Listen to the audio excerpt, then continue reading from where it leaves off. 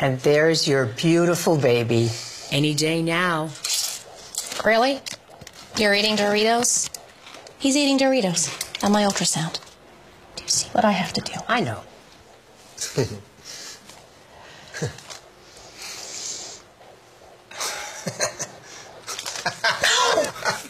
Give me that.